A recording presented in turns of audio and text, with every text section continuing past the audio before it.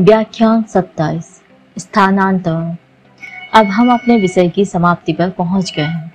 और आपके मन में एक भाव उठ रहा होगा, जो आपको बहका सकता है, पर ऐसा मौका नहीं आना चाहिए।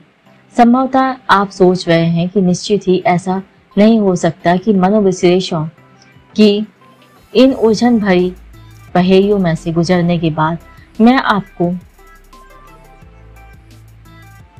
बिल द्वारा चिकित्सा के बारे में, जिसके आधार पर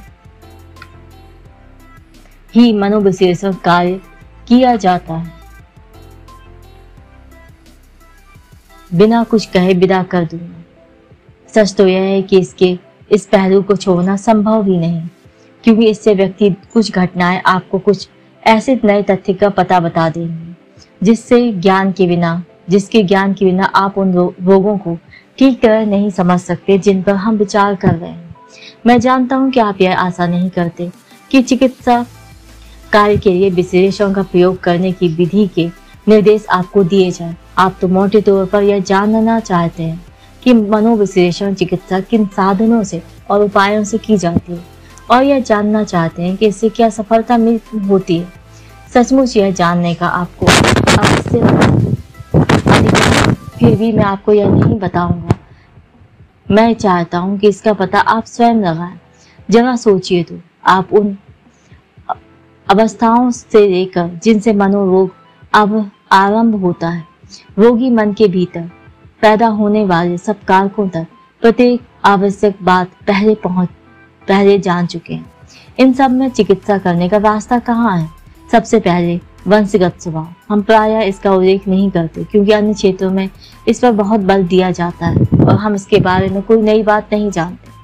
पर यह ना समझिए कि हम इसे कम महत्वपूर्ण समझते हैं। चिकित्सा के नाते हम इसकी शक्ति से सुपरिचित है। कुछ भी हो, हम इसे बदलने के लिए कुछ नहीं कर सकते।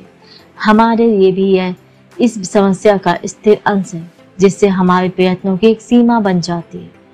इसके बाद आरंभिक बचपन के अनुभवों का प्रभाव है, जिसे हम विश्लेषण में बहुत अधिक महत्वपूर्ण समझते हैं। वे भूतकाल से संबंध रखते हैं, इसलिए हम उन्हें हटा नहीं सकते। इसके बाद जीवन का वह सब दुख, जिसे हमने यथार्थता में कुंठा के अंतर्गत शामिल किया है, जिससे जीवन का सारा प्रेम का अभाव पैदा होता है। अर्थात गरीबी, पारिवारिक झगड़े विवाह में गलत साथी का चुनाव, प्रतिकूल सामाजिक अवस्थाएँ और व्यक्ति पर नैतिक नैतिक इसी तो जैसा कि पहले कहा है, स्वास्थ्य मुक्त रहन सहन से प्राप्त होगा। विश्लेषण पर निश्चित रूप से यह आरोप लगाया जाएगा कि यह नैतिकता को पोषण नहीं करता। बहुत कम रोगियों में यह द्वंद ऐसा स्थायी होता है, जिस पर डॉक्टर की राय से कोई प्रभाव पड़ सके, और इन रोगियों को वास्तव में विश्लेषण द्वारा इलाज की आवश्यकता नहीं होती। जिन लोगों पर डॉक्टरों का इतना आसानी से असर पहुंचाता है, उन्होंने इस असर के बिना ही अपने द्वंद्व को दूर करने का रास्ता निकाल लिया होगा। आखिरकार आप जानते हैं कि विषय वासनाओं से बचकर रहने वाला कोई नौजवान जब संभोग का इरादा करता है, या कोई असंतुष्ट पत्नी जो किसी चाह में संतुष्टि प्राप्त करती है, तब ऐसा करने के लिए किसी डॉक्टर या मनोविश्लेषक की इजाज़त की राह नहीं देखते। इस सवाल पर विचार करते हुए लोग आमतौर से कठिनाई के सामने आवश्यक अंग को भूल जाते हैं। कि स्नायु रोगी में होने वाला रोग, रोगजनक द्वंद और एक ही मानसिक क्षेत्र में मौजूद सब विरोधी आवेगों में होने वाला प्रकट संघर्ष दो भिन्न चीज़ें हैं। यह प्रकट संघर्ष दो ऐसे बलों की कुश्ती है, जिनमें से एक को मन के पूर्व चेतन और चेतन भाग की सतह तक आने में सफलता हुई है जबकि रोगजनक द्वंद अचेतन सतह पर ही घिरा रहा। इसी कारण इस द्वंद का किसी एक तरफ़ अंतिम फैसला कभी नहीं होगा। परस्पर विरोधी बल एक दूसरे के सामने नहीं आ पाते। निर्णायक फैसला तभी हो सकता है, जब वे उसी मैदान में आमने सामने आए और मेरी राय में यह स्थिति ला देना ही। इलाज का एकमात्र कार्य है।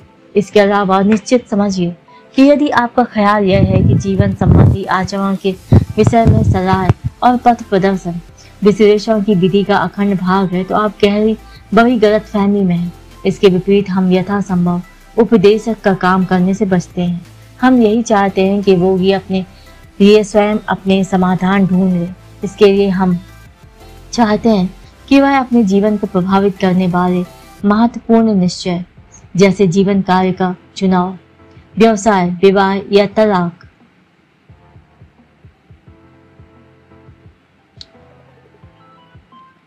आदि, जो भी निर्णय है, वो सो इलाज के दिनों में ना करें और इलाज पूरा हो जाने के बाद ही इसके बारे में तय करें। अब आपको स्वीकार कर लेना चाहिए कि आपने इससे बहुत भिन्न चीज़ की, कल्पना की थी। थोड़े से बहुत कम आयु वाले या बिल्कुल असहाय और सबल हीन लोगों के लिए ही ऐसी सख्त पाबंदी में रहना असंभव है। इन व्यक्तियों के लिए हम चिकित्सक और शिक्षक दोनों बन जाते हैं। तब हम अपनी ज़िम्मेदारी को अच्छी तरह समझते हैं और आवश्यक सावधानी से कार्य करते हैं। मैंने इस आरोप से कि विश्लेषण वाले इलाज में स्नायु रोगियों को मुक्त जीवन बिताने के लिए उत्साहित किया जाता है। जिस उत्सुकता से अपनी सफ़ाई पेश किए उससे आपको भ्रम में नहीं पड़ना चाहिए। और ना यह नतीजा ही निकालना चाहिए कि हम उन्हें परंपरागत रास्ते पर चलने के लिए प्रेरित कर रहे हैं। यह बात भी हमारे प्रयोजन से उतनी ही दूर है जितनी वह। दूसरी बात यह कि यद्यपि यह सच है कि हम सुधारक नहीं, बल्कि सिर्फ़ प्रेक्षक हैं, पर तो भी हम आलोचक की दृष्टि से परीक्षण किए बिना नहीं रह सकते। और परंपरागत यौन नैतिकता का समर्थन करना या उन उपायों को श्रेष्ठ कहना जिनके द्वारा समाज ने जीवन में यौन प्रवृत्ति का व्यवहारिक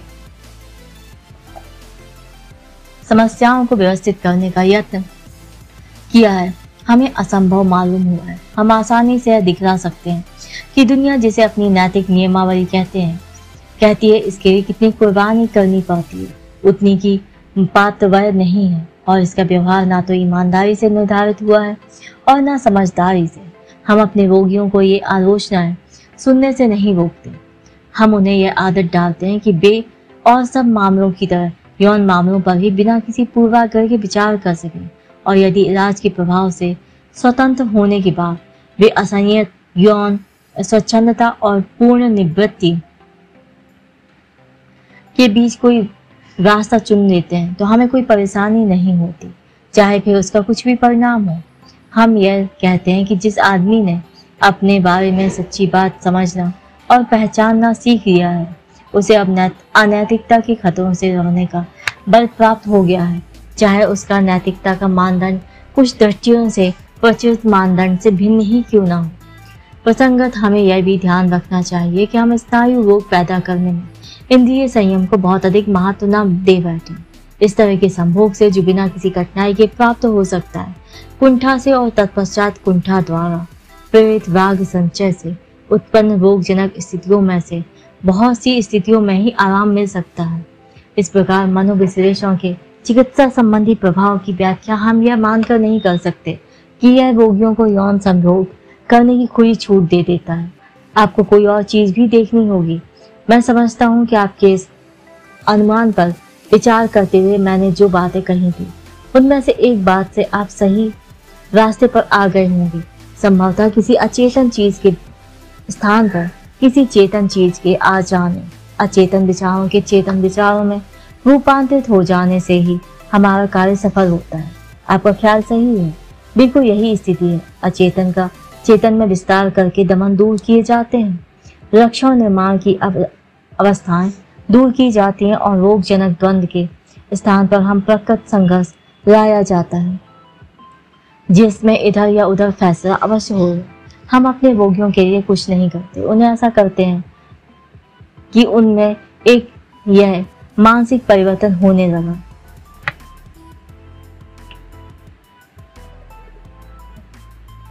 यह परिवर्तन उनमें जितनी अधिक मात्रा में कर दिया जाता है, उतना ही अधिक लाभ उन्हें पहुँचा देते हैं।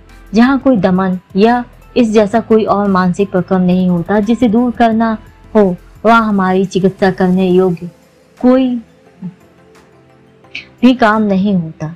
हमारे प्रयत्नों का लक्ष्य अनेक सूत्रों के रूप में प्रकट किया जा सकता है, जैसे अचेतन को चेतन बनाना, दमनों को हटाना, स्मृति में खाली स्थानों को भरना। ये सब समान बातें हैं, पर शायद आप इस कथन से असंतुष्ट हैं। आपने स्नायु रोगी के स्वास्थ्य लाभ की कुछ और ही कल्पना की थी। आपने सोचा था कि मनोविश्लेषण के परिश्रम पूर्ण कार्य के बाद वह बिल्कुल ही नया आदमी बन जाएगा। और अब आपसे यह कहा जा रहा है कि बात सिर्फ़ इतनी है कि उसमें जितना अचेतन था, पहले था, अब कुछ कमी हो गई है। और जितना पहले चेतन था, उसमें कुछ वृद्धि हो गई है। असलियत यह है कि शायद इस तरह के भीतरी परिवर्तन के महत्व को पूरी तरह समझ नहीं पाते। जिस स्नायु रोगी का इलाज हो जाता है, वह सचमुच ही एक नया आदमी बन जाता है। यद्यपि मूर्ता पहले की ही तरह ही होता है। अर्थात वह अपने सर्वोत्तम रूप में आ जाता है। वह वैसा ही बन जाता है, जैसा सबसे अनुकूल परिस्थितियों में बना होता है। परंतु यह बहुत बड़ी चीज़ है। फिर जब आपको वे सब बातें पता चलेंगी, जो उसके मानसिक जीवन में यह मामूली सा लगने वाला परिवर्तन लाने के लिए करनी होगी, तब इन अनेक मानसिक सतहों के इन अंतरों का अर्थ आपको अधिक समझ में आएगा। मैं जरा सा विषयांत करके यह पूछना चाहता हूँ कि क्या आपको पता है कि नैमित्तिक चिकित्सा का क्या अर्थ है? नैमित्तिक चिकित्सा उस प्रक्रिया को कहते हैं जो रोग के अभिव्यक्त रूपों को छोड़कर, रोग के कारण को दूर करने के लिए कोई कमज़ोर पहलू तलाश करती है। अब प्रश्न यह है कि मनोविश्लेषण नैमित्तिक चिकित्सा है या नहीं, इसका उत्तर सरल नहीं है, पर इससे हमें ऐसे प्रश्नों की व्यर्थता अच्छी तरह समझने का मौका मिल जाता है। जहाँ तक इसका प्रश्न है कि मनोविश्लेषण चिकित्सा का लक्ष्य? लक्षणों को तत्काल दूर करना नहीं होता। उस सीमा तक यह नैमित्तिक चिकित्सा के रूप में की जाती है और दृष्टियों से यह कहा जा सकता है कि यह नैमित्तिक चिकित्सा नहीं, क्योंकि हम कारण श्रृंखला पर पीछे की ओर चलते चलते दमन से परे नैसर्गिक पूर्व प्रतियों शरीर रचना और उनकी आपेक्षिक तीव्रता और उनके परिवर्तन के मार्ग में होने वाले विपथनों तक पहुँचते हैं। अब मान लीजिए कि किसी रासायनिक साधन से इस मनोयंत्र पर असर डाला जा सकता है। किसी खास समय उपलब्ध राग की मात्रा को बढ़ाया घटाया जा सकता है, या एक आवेग की ताकत छीनकर दूसरे आवेग की ताकत बढ़ाई जा सकती है। तो यह शाब्दिक अर्थ की दृष्टि से नैमित्तिक चिकित्सा होगी और हमारा विश्लेषण उसका अनिवार्य आरंभिक कार्य होगा। जैसा कि आप जानते हैं, इस समय राग के प्रक्रमों पर ऐसे किसी प्रभाव का प्रश्न नहीं है। हमारी मानसिक चिकित्सा इस श्रृंखला के एक और स्थान पर हमला करती है। यह स्थान बिल्कुल वही नहीं है, जहाँ रोग के अभिव्यक्त रूप जमे हुए दिखाई देते हैं, पर फिर भी यह लक्ष्यों से बहुत पीछे है। यह स्थान बड़ी विशिष्ट परिस्थितियों में हमारे काबू में आ जाता है। तो रोगी में जो कुछ अचेतन है, उसे चेतना में लाने के लिए हमें क्या करना पड़ता है? किसी समय हमने समझा था यह बड़ा सरल काम होगा। हमें सिर्फ़ इतना करना होगा कि हम इस अचेतन वस्तु को पहचान लें और फिर रोगी को यह बता दें कि यह वस्तु क्या है। परंतु हम पहले ही यह समझ चुके हैं कि वह हमारी अदूरदर्शिता थी। उसमें जो कुछ चेतन, अचेतन है, उसके बारे में हमें जानकारी होना और रोगी को जानकारी होना एक ही बात नहीं है। जब हम उससे बे बातें करते हैं, कहते हैं जो हम जानते हैं, वह उन्हें अपने निज के अचेतन विचारों के स्थान पर नहीं अपनाता, बल्कि उनके साथ साथ अपनाता है। उसमें कुछ भी परिवर्तन नहीं होता। हमें इस अचेतन सामग्री पर स्थान वृत्तीय दृष्टि से विचार करना पड़ता है। हमें इसकी स्मृति में वह असली जगह खोजनी पड़ती है, जिसमें इसका दमन शुरू में आरंभ हुआ, पहले इस दमन को हटाना होगा और फिर सीधे ही अचेतन विचार के स्थान पर चेतन विचार लाया जा सकता है। इस तरह के दमन को कैसे हटाया जाए? यहाँ हमारे कार्य की दूसरी कला आरंभ होती है। प्रथम तो दमन को खोजना और फिर उस प्रतिरोध को हटाना जो इस दमन को कायम रखता है। इस प्रतिरोध से कैसे पिंड छूट सकता है? एक ही तरीका इसका पता लगाकर और रोगी को उसके बारे में बताकर। प्रतिरोध भी किसी दमन में से ही पैदा होता है। या तो यह उसी दमन में से पैदा होता है जिसे हम दूर करने की कोशिश कर रहे थे या किसी पहले वाले दमन से पैदा होता। है यह उस प्रति आवेश द्वारा स्थापित किया जाता है, जो प्रतिकर्षी आवेग का दमन करने के लिए पैदा हुआ था। इस प्रकार हम ठीक वही कार्य कर रहे हैं, जो पहले करने की कोशिश कर रहे थे। हम रोगी का निर्वचन करते हैं, उसे ठीक ठीक पहचानते हैं और जानकारी देते हैं। पर इस बार हम यह काम ठीक स्थान पर कर रहे हैं। प्रति आवेश या प्रतिरोध अचेतन का भाग नहीं, बल्कि अहम का भाग है, जो हमारे साथ सहयोग करता है। और इसके वास्तव में चेतन न होने पर भी यही बात रहती है। हमें मालूम है कि यहाँ अचेतन शब्द का अर्थ एक ओर तो एक हर घटना या क्रिया और दूसरी ओर एक संस्थान होने के कारण कठिनाई पैदा होती है। यह बात बड़ी अस्पष्ट है और कठिन मालूम होती है। पर आखिरकार यह उस बात को दोहराना मात्र है जो हमने पहले कही थी। इस बात पर हम बहुत पहले पहुँच चुके हैं तो इस प्रकार हमें यह आशा करते हैं कि जब हम अपने निर्वचन कार्य द्वारा प्रतिरोध और प्रति आवेश को पहचान लेंगे, तब यह प्रतिरोध दूर हो जाएगा और प्रति आवेश हट जाएगा। ऐसा कर सकने के लिए हमारे पास कौन से नैसर्गिक नोदक अर्थात धकेलने वाले हैं, बल हैं? प्रथम तो रोगी की स्वास्थ्य लाभ की इच्छा, जिससे प्रेरित होकर उसने हमारे सहयोग से विश्लेषण आरंभ किया। दूसरे, उसकी बुद्ध बुद्धि की मदद जिसे हम अपने निर्वचन द्वारा मदद देते हैं। इसमें कोई संदेह नहीं कि रोग के लिए प्रतिरोध को अपनी बुद्धि से पहचानना और अपने चेतन में संभावी मनोबिंदु को पकड़ना तब अधिक आसान हो जाता है जब हमने उसे कोई ऐसा मनोबम प्रस्तुत कर दिया हो जो इसके विषय में उसकी आस, उसमें आशाएँ पैदा कर दे। यदि मैं आपसे कहूँ आकाश की ओर देखिए और आपको एक गुब्बारा दिखाई देगा तो आपको गुब्बारा उस समय की बनस्बत अधिक जल्दी दिखाई दे जाएगा जब मैं आपसे यह कहूँ कि ऊपर देख कर बताइए क्या दिखाई देता। सूक्ष्मदर्शी या माइक्रोस्कोप सबसे प्रथम बार देखने वाले छात्र को शिक्षक यह बता देता है कि उसे क्या देखना अन्यथा उसे कुछ भी नहीं दिखाई देता। यद्यपि कोई चीज़ वहाँ है और काफ़ी साफ़ दिखाई देती है। और अब तथ्य को लीजिए। बहुत से स्नायु रोगियों जैसे हिस्टीरिया चिंता दशाएँ मनोग्रस्तता रोग में हमारी परिकल्पना पूरी परिकल्पना पूरी उतरती। इस प्रकार दमन को खोज कर प्रतिरोधों का पता लगाकर, दमित को निर्दिष्ट करके कार्य में सफलता पाना प्रतिरोधों को दूर करना, दमन को हटा देना और अचेतन वस्तु को चेतन वस्तु में बदल देना। सचमुच संभव है। जब हम यह काम करते हैं, तब हमें पता चलता है कि प्रत्येक प्रतिरोध को दूर करने के समय रोगी की आत्मा में एक भीषण युद्ध होता, होने लगता है। यह उसी मैदान में लड़ रही दो प्रवृत्तियों के बीच प्रति आवेश को कायम रखने में यत्नशील प्रेरक भावों और से दूर करने को तत्पर प्रेरक भावों के बीच प्रकट मानसिक संघर्ष है। इनमें से पहले प्रेरक भाव वे पुराने प्रेरक भाव होते हैं जिन्होंने शुरू में दमन को कायम किया था। दूसरे प्रेरक भावों में भी नए प्रेरक भाव हैं जो कुछ ही समय पहले प्राप्त हुए और जिनसे आशा है कि वे इस द्वंद का हमारे पक्ष में फैसला कर देंगे। हमें दमन के पुराने द्वंद को फिर से जीवित करने में इतने समय पहले निर्णित प्रश्न को दोबारा विचार के लिए पेश करने में सफलता मिली है। हमने इसमें जो नया कार्य किया है, वह प्रथम तो यह कि हमने यह दिखला दिया कि पहले वाले समाधान से रोग पैदा हुआ है और यह आशा दिखाई कि इससे भिन्न समाधान से यह स्वास्थ्य फिर प्राप्त होगा और दूसरे हमने यह जतला दिया कि जब इन आवेगों को शुरू में अस्वीकार किया गया था, तब से परिस्थितियाँ बहुत बदल चुकी थी। उस समय अहम दुर्बल और सैसवीर था और शायद राग की प्रवृत्तियों को अपने लिए खतरनाक मानकर भय से संकुचित होता था। आज वह सबल और अनुभवी हो चुका है और साथ ही चिकित्सक के रूप में एक सहायक उसके पास है। हम यह आशा कर सकते हैं कि यह पुनर्जीवित द्वंद दमन की अपेक्षा किसी अच्छे परिणाम पर पहुंचेगा और जैसा पहले कहा जा चुका है कि हिस्टीरिया, चिंता, स्नायु रोग और मनोग्रस्तता रोग में प्राप्त सफलता से हमारे कथन की सच्चाई सिद्ध होती है। रोग के कुछ अन्य रूप भी हैं जिनमें हमारा इलाज कभी सफल नहीं होता।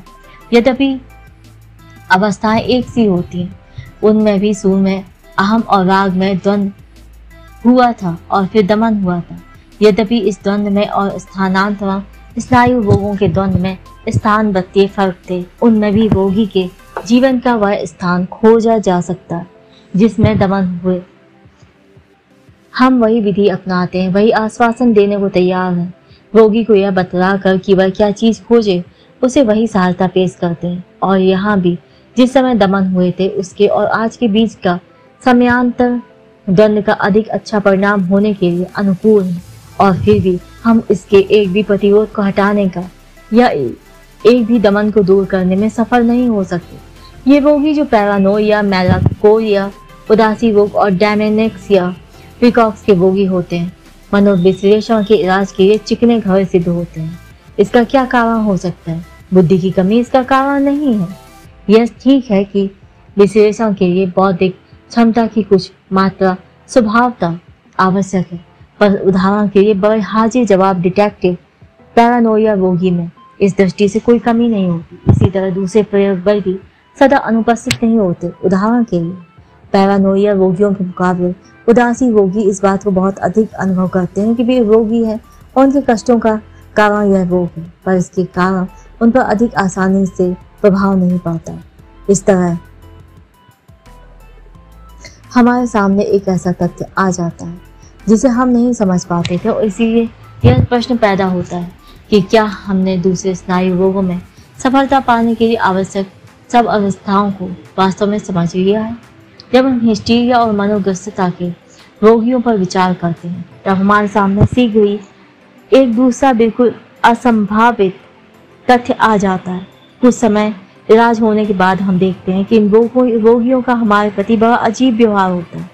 हमने सचमुच समझा था कि हमने इलाज संबंधी प्रयोग पर विचार कर लिया है और अनेक तथा अपने तथा रोगी के बीच की स्थिति को इतनी अच्छी तरह स्पष्ट कर लिया है कि वह गवत की राशि के समान संतुलित हो गई है।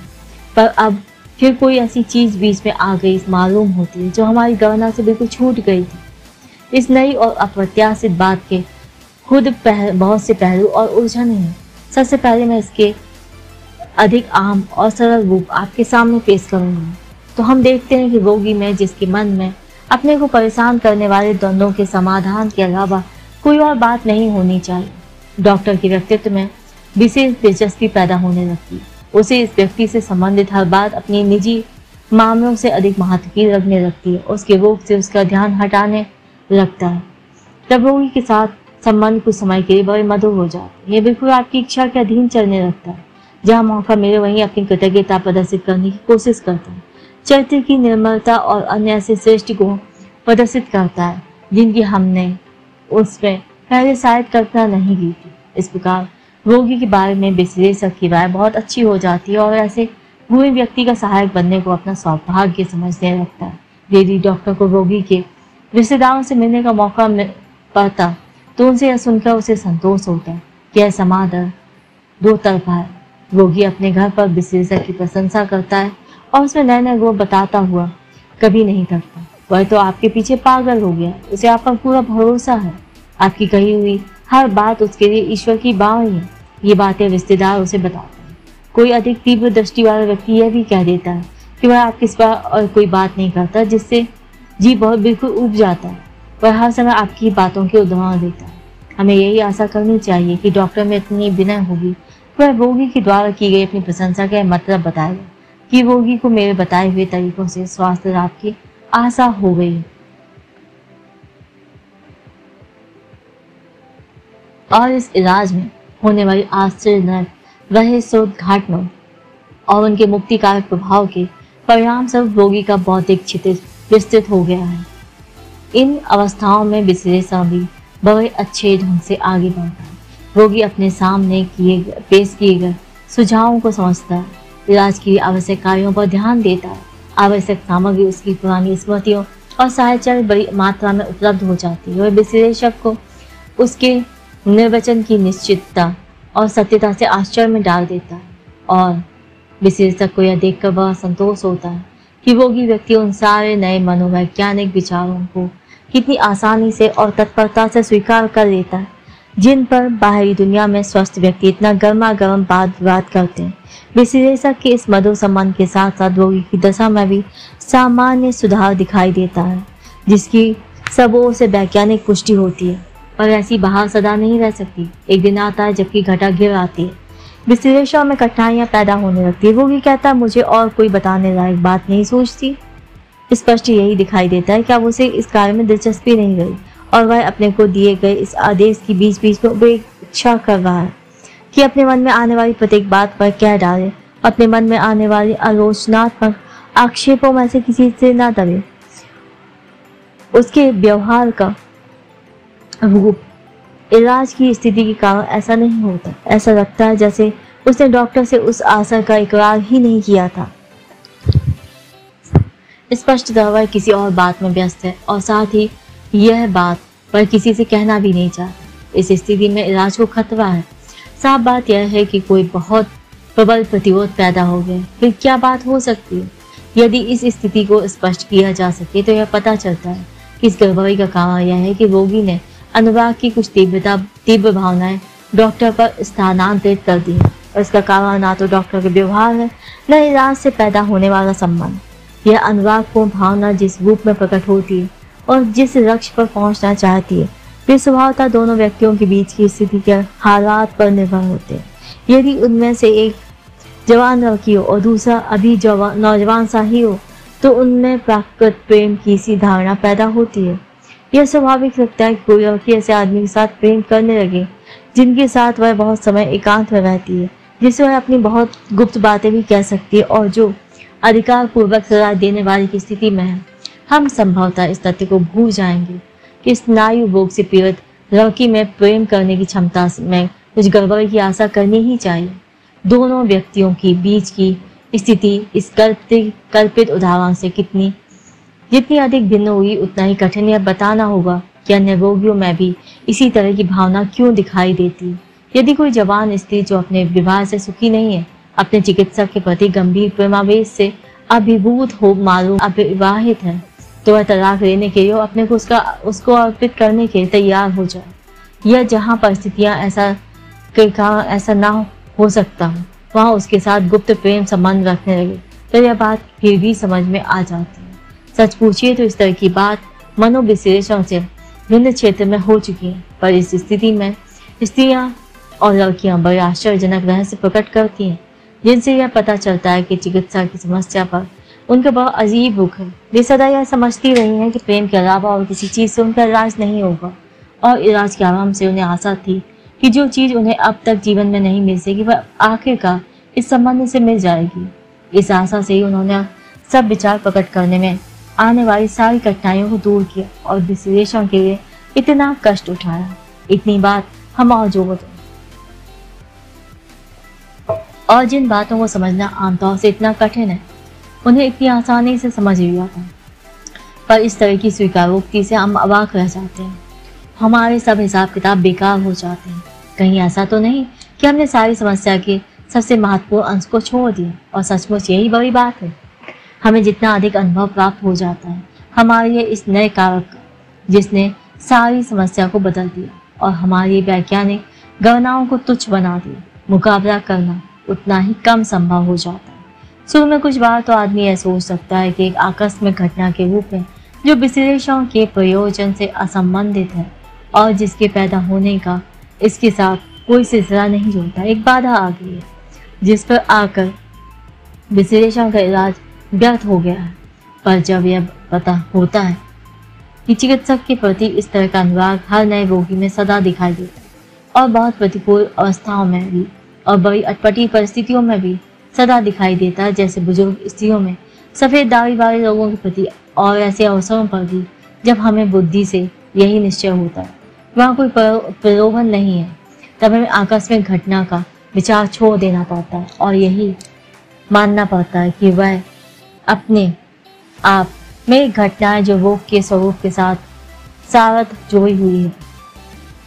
इस प्रकार जो नया तथ्य मानने को अनिच्छा पूर्वक मजबूर होना पड़ता है, उसे हम स्थानांतरण कहते हैं। इससे हमारा आशय यह है कि भावनाएँ डॉक्टर के व्यक्तित्व पर स्थानांतरित कर दी जाती हैं, क्योंकि हम यह नहीं समझते कि इलाज की स्थिति को ऐसी भावनाओं के जन्म का कारण बना, कहा जा सकता है। हमें यह संदेह की अधिक गुंजाइश मालूम होती है कि भावना पनपाने की इंसानी तत्परता का जन्म एक और जगह होता है, कि यह रोगी में पहले ही बन चुकी थी और इलाज द्वारा प्रस्तुत अवसर का लाभ उठाकर अपने आप को डॉक्टर के व्यक्तित्व पर स्थानांतरित कर लिया है।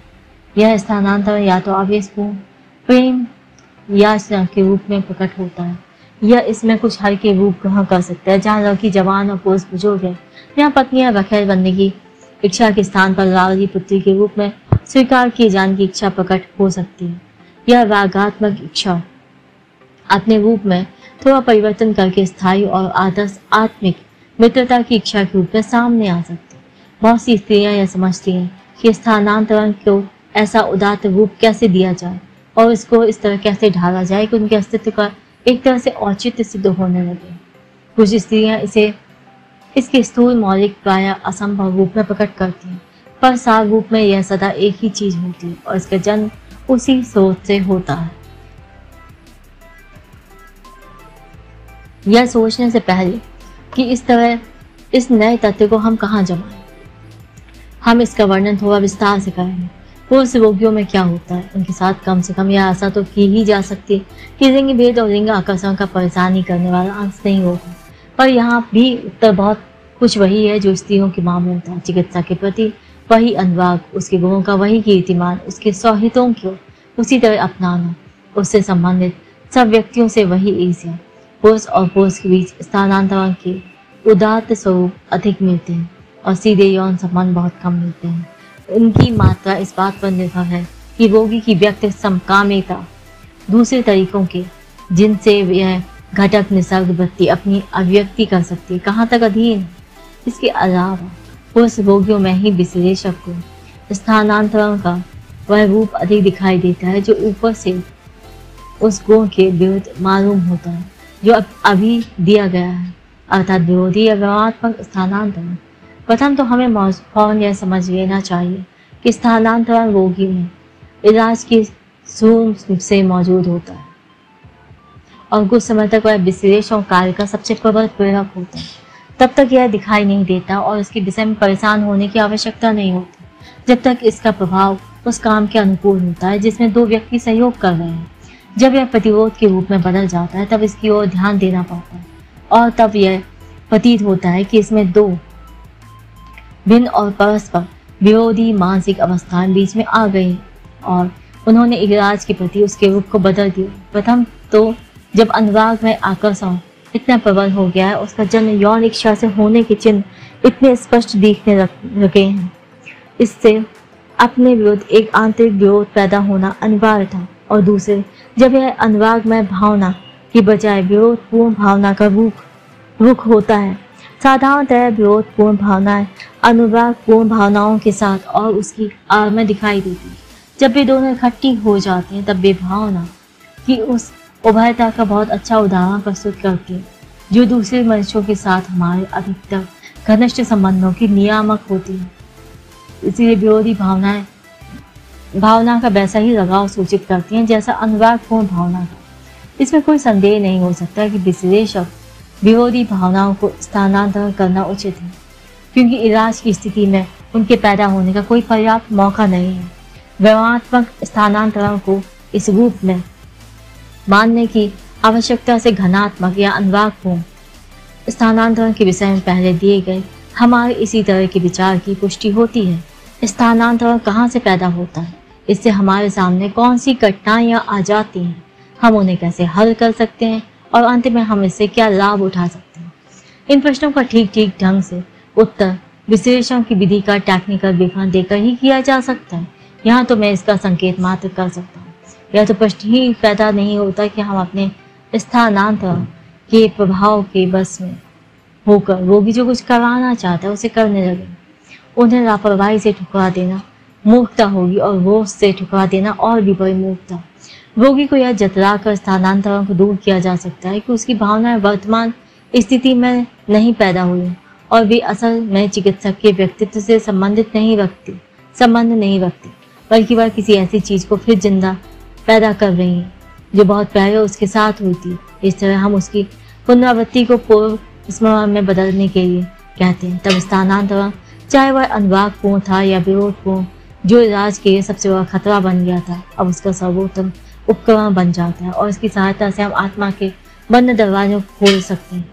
पर आप इस असंभावित घटना से लगे आघात से जो बुरा असर पड़ा होगा, उसे दूर करने के लिए कुछ शब्द कहना चाहते हैं। आखिरकार, हमें यह नहीं भूलना चाहिए कि रोगी के जिस रोग का विश्लेषण करने की ज़िम्मेदारी हमने उठाई है, पर कोई अंतिम रूप में तैयार पूर्ण वस्तु नहीं। बल्कि वह जीवित वस्तु के सहारे सारे समय बढ़ रही है और अपना परिवर्तन जारी रखती है। पर जो ही इलाज रोगी पर असर डालने लगता है, त्यों यह प्रतीत होता है।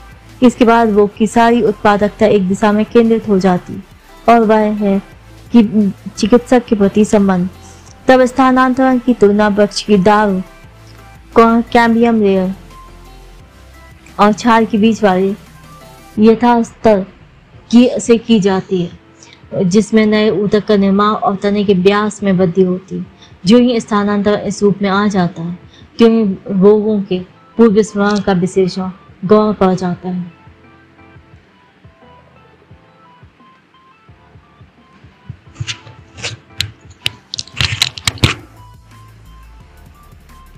तब यह कहना गलत नहीं है कि अब हम पुराने रोग का सामना नहीं कर रहे हैं। बल्कि एक नए पैदा हुए और रूपांतरित स्नायु रोग का सामना कर रहे हैं, जो पहले वाले रोग के स्थान में आ गया है। पुराने रोग का यह नया संस्करण अपने शुरू होने के समय से हमारी नज़र में है।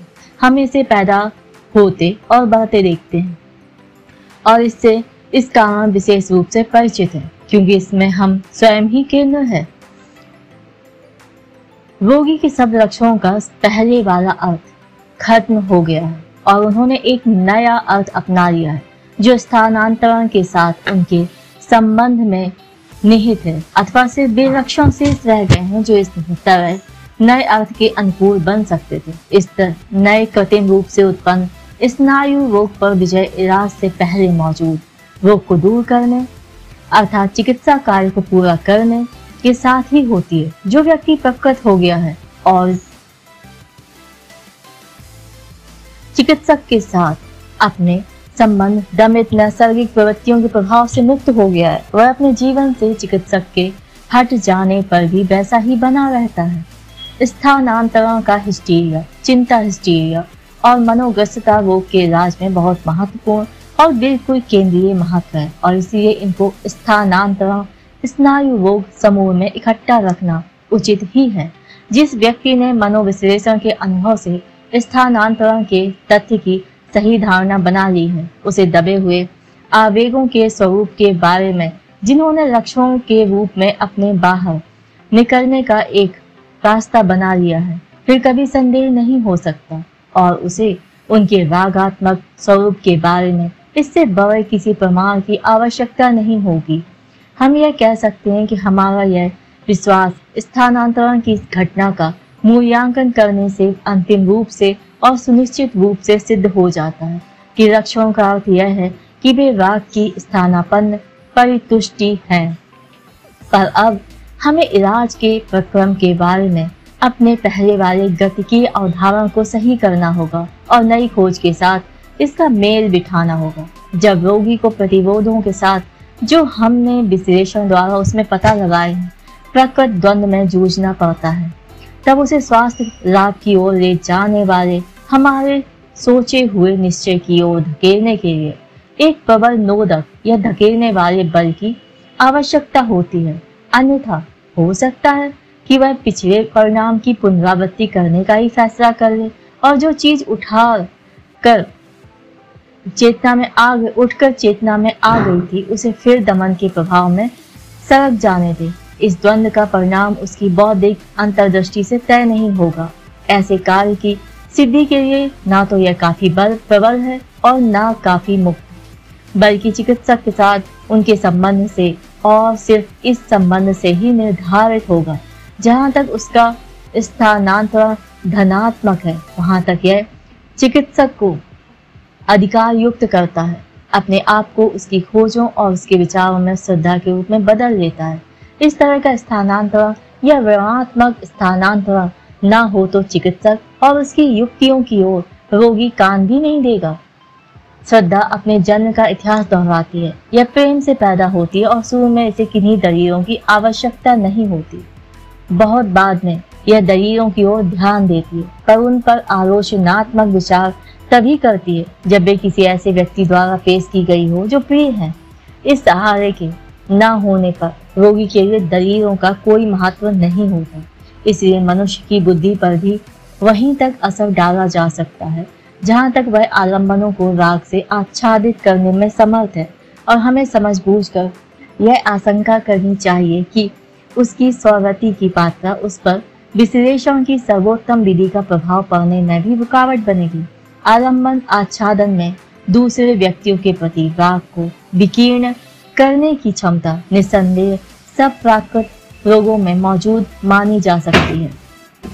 तथा कथित स्नायु रोगों की स्थानांतरण की प्रवृत्ति एक व्यापक विशेषता का अपवाद रूप से होने वाला तीव्र रूप मात्र है। यदि इतने महत्व के और व्यापक मानवीय चरित्र गुणों को कभी न देखा गया होता और उसका उपयोग न किया गया होता तो यह बहुत विचित्र बात होती और इसे सचमुच देखा गया है।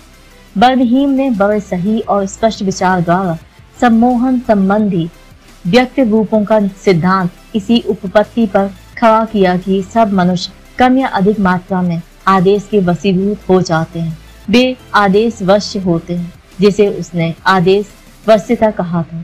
वह स्थानांतरण की प्रवृत्ति के अलावा और कुछ नहीं है, पर इसे बहुत तंग दायरे में रखने पर यह बात सच है कि व्यवहात्मक स्थानांतरण इसके क्षेत्र के भीतर नहीं आता। पर वर्णहीन यह कभी नहीं बता सका कि आदेश वास्तव में क्या है, या वे कैसे पैदा होते हैं। उसके लिए यह एक स्वयं सिद्ध तथ्य था, और उसके पैदा होने की वह कोई व्याख्या नहीं कर सकता था। वह यह नहीं पहचान पाया कि आदेश से वस्यता यौन वृत्ति पर वाक के कार्य करने पर निर्भर है, और हमें यह स्वीकार करना पड़ता है कि हमने अपनी विधियों से सम्मोहन का त्याग करके स्थानांतरण के रूप में आदेश को फिर खोज लिया है। पर मैं जरा रुक कर आपको सूत्र पकड़ने का मौका देता हूँ। मैं देख रहा हूँ कि आपके विचारों में एक आक्षेप इतनी प्रबलता से घूम रहा है। यदि उसे प्रकट न किया गया तो ध्यान केंद्रित करने की आपकी सारी शक्ति छीन लेगा। अब इस प्रकार अंत में आपने यह मान लिया कि आप भी समूह को, सम्मोहन को की तरह, सम्मोहकों की तरह आदेश की सहायता देते हैं। हम तो सारे समय यही समझते रहे हैं, पर फिर गुजरे हुए अनुभवों के द्वारा इन सब चक्करदार रास्तों का अचेतन सामग्री को खोजने, विपर्यासों का निर्वचन करने और उन्हें फिर अनुवादित करने और समय, मेहनत और धन का इतना भारी खर्च करने का क्या लाभ? जब अंत में असली कार्यकारी साधन आदेश ही है आप लक्ष्यों के विरुद्ध सीधे आदेश ही क्यों नहीं देते? जैसा कि दूसरे लोग कहते हैं, जो ईमानदारी से अपने आप को सम्मोहक बताते हैं और इसके अतिरिक्त यदि आप यह कहते हैं कि इन चक्करदार रास्तों के द्वारा आपने अनेक महत्वपूर्ण खोजें की हैं, जो सीधे आदेश में छिपी रहती हैं तो उनकी प्रामाणिकता की पुष्टि कौन करेगा? क्या बेबी आदेश का, अर्थात अनाभिप्रेत आदेश का परिणाम नहीं है? क्या आप रोगी पर इस दिशा में भी मनचाह प्रभाव नहीं डाल सकते? इस तरह आप मुझ पर जो आरोप लगाते हैं, वह बहुत अधिक मनोरंजक है और उसका जवाब देना होगा। पर वह मैं आज नहीं दूँगा। हमारा समय पूरा हो गया है। इसीलिए अगली बार से आप देखेंगे, मैं आपकी आपत्ति का उत्तर दे सकूँगा। आज मुझे एक बात खत्म करनी है, जो मैंने शुरू की थी। मैंने स्थानांतरण के कारण के ज़रिए आपके सामने यह व्याख्या करने का वायदा किया था कि स्वरति संबंधी स्नायु रोगों में हमारे चिकित्सा के प्रयत्न सफल क्यों नहीं होते? यह व्याख्या मैं थोड़े से शब्दों में कर सकता हूँ। और आप देखेंगे कि कितनी सरलता से पहेली हल हो जाती है। और हर चीज़ कैसे एक दूसरे के साथ संबद्ध हो जाती है। अनुभव से पता चलता है कि सौरतिक स्नायु रोगों से पीड़ित स्नायु रोगियों में स्थानांतरण की क्षमता नहीं होती। यह इसका नाकाफी अंश होता है। बेउदासीन भाव से चिकित्सक से विमुख हो जाते हैं। विरोध भाव से नहीं, इसलिए चिकित्सक का उन पर प्रभाव नहीं पड़ सकता। चिकित्सक जो कुछ कहता है, उससे भी उदासीन रहते हैं। उन पर कोई छाप नहीं पड़ती और इसलिए इलाज का प्रक्रम जो दूसरी बातों के, अर्थात रोगजनक द्वंद के, पुनर्जीवन और दमन के कारण होने वाले प्रतिरोध को दूर करने के साथ साथ चल सकता है। उनके साथ नहीं चलाया जा सकता। वे जैसे हैं, वैसे ही रहते हैं। उन्होंने बहुत बार अपने आप स्वास्थ्य लाभ के प्रयत्न किए हैं, जिनसे रोगात्मक परिणाम पैदा हुए हैं। हम इसे बदलने के लिए कुछ नहीं कर सकते। इन रोगियों की रोग परीक्षा के आधार पर हमने कहा था, उन्होंने राग से आलम्बनों का आच्छादन अवश्य त्याग दिया होगा और आलंबन राग को अहम राग में रूपांतरित कर दिया होगा।